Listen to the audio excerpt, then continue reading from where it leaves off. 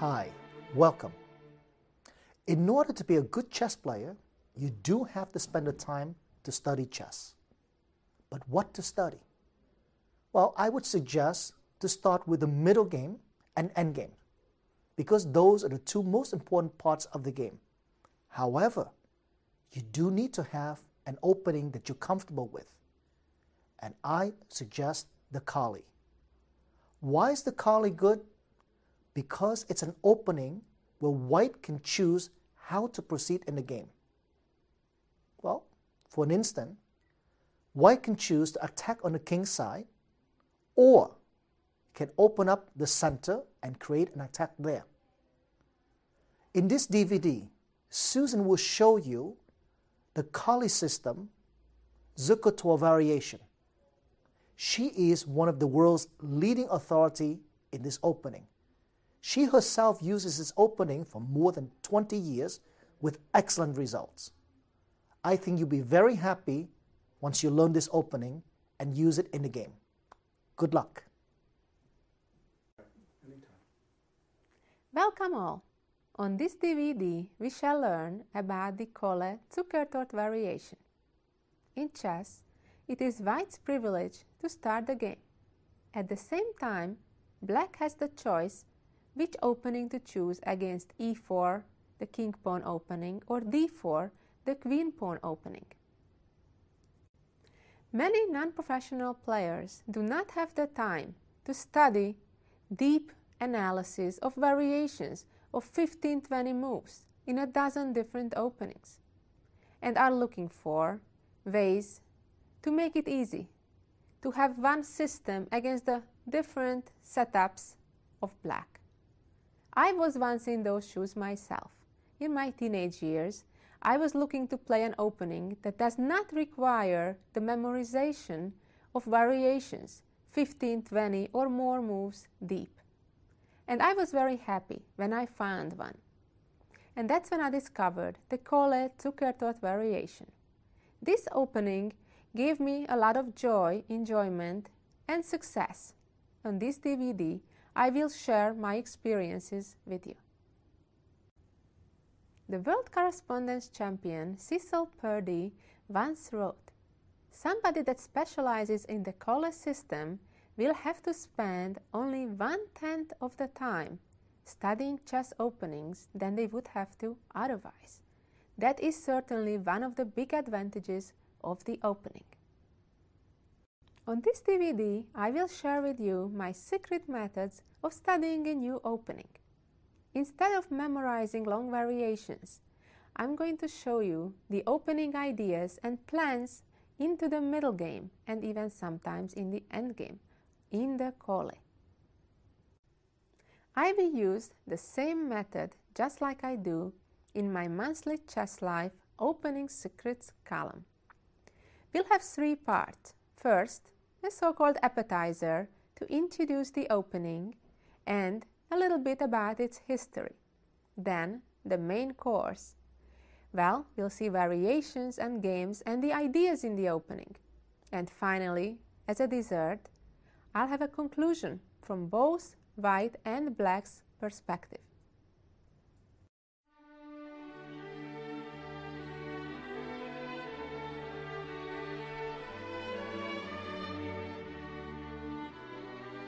Let me show you the beginning moves of the Colle. d4, d5, knight f3, e6, e3, knight f6, bishop d3. This is the beginning position of the Colle. Here, black can choose to develop his bishop to e7 or d6, and then later to develop the knight to d7 or c6, and usually they do that with playing c5 and later developing the bishop to b7. The Colle variation is named after the Belgian master Edgar Colle.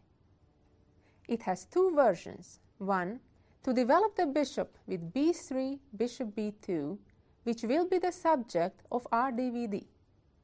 Also, there is another version, playing with c3 and then later planning knight b2 and e4. that we will not discuss on this DVD. In this very position, black has five reasonable choices. Bishop e7, bishop d6, knight b to d7, b6, or c5, which is the most common reply in this position. And now, white is playing b3. Why? Black is thinking to play c4, chasing the white bishop back. That's why, in this position, white usually would answer either with c3 or b3. b3 stops c4 or c3 would make space for a bishop to retreat to c2.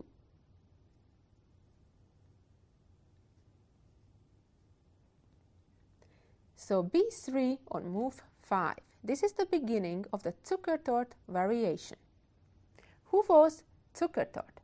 The Polish Johann Zukertort was one of the top players in the world in his time in the 19th century. Zukertort even got to participate, although lost, in the first official World Championship match in 1886.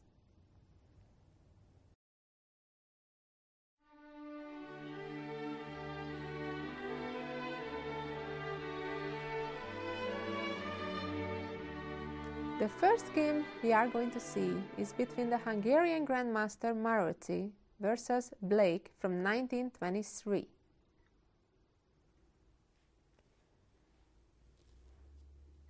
Knight c6 and castle. Here black did the trade with c takes d4. I personally don't like that commitment so early. I prefer for black to delay that, develop first castle, and then maybe trade later. White captured back with the pawn and black developed the bishop to d6, bishop b2, castle. Both sides are developing, making natural moves. Now here white played a3. What's the reason behind this move? To stop a possible knight b4 move that could chase back white's light squared bishop. And black played b6, developing the light squared bishop, knight bd2, and bishop b7. Well, now all the light pieces are developed. The only thing left is to connect the rooks. Queen e2. So now all the pieces are developed from white side. And black played rook c8, putting the rook on the half-open file. Knight e5. White centralizes the knight. This is one of the main ideas in this opening. To then allow f4, rook f3, rook h3, or at times an attack even with the pawn advance g4, g5, as we will see in this and several other games. After knight jumped into e5, black in this game played queen e7, connecting their rooks. And white continued as planned with f4, backing up that knight on e5. And now black is playing not energetically enough. Rook fe8, allowing white to follow up the plan with rook f3, queen f8. Well, this is a type of move that doesn't look good and is not good. It is very rare that a queen on a place like f8 would be in a good position. Usually it's very bad, it's very passive, it has only one square to go to from there. And white continues with rook to h3. Now black already has to be careful. White is threatening with the sacrifice of bishop takes pawn. If the knight takes back, then queen h5, attacking the knight, and the knight cannot move away safely because of checkmate with queen h8.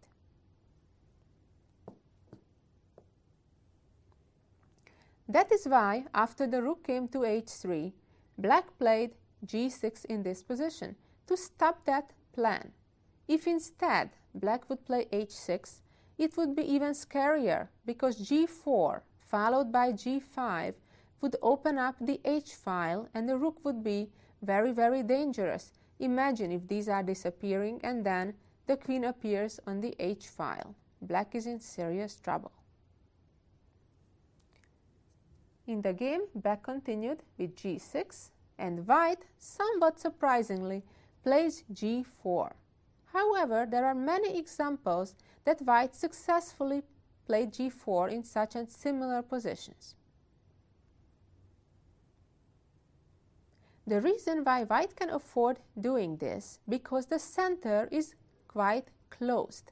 It's quite unlikely that black would be able to open up the long diagonal where its bishop on b7 could play an attacking role. Imagine if the pawn on d5 is gone, that bishop could be dangerous, especially, let's say, with the help of a queen getting to that diagonal. But that seems quite far-fetched from the position we actually have on the board. Black played queen g7 and white brings the last piece to the game that was sleeping so far, the rook from the corner, rook f1. Black played knight e7, stopping a maybe potential f5 advancement of the f-pawn. And now white has the time to improve the position of the rook from f1. Rook f2, king h8, and rook g2. Now, after a future f5, imagine if pawn takes, pawn takes, there would be a very nice discovered attack from the rook to the queen, and white's king would be quite safe with the rook in front of it. Here black just played rook c7, trying to perhaps defend the f7 pawn after the knight would move away, or also just double up the rooks and maybe look for some counterplay along the c file. White continued with knight d2 to f3, aiming to g5, helping out the other knight and the rooks and the bishop that's already looking at black's king side. Black here played knight e to g8, trying to bring more defense near the king. And now knight g5. Well, black's position looks really cramped at this point. Black played h6, not really attacking the knight because the pawn is pinned. And now white is ready to break through and sacrifice and go for a mating attack. Knight captured on f7, check. Rook captures back. Knight captures pawn on g6, destroying the defense in front of black's king. King h7. Now white repeated a pair of moves, but that has not much importance. And then the knight moved to e5 to check. King h8 and now white is opening the position further in front of black's king by playing g5.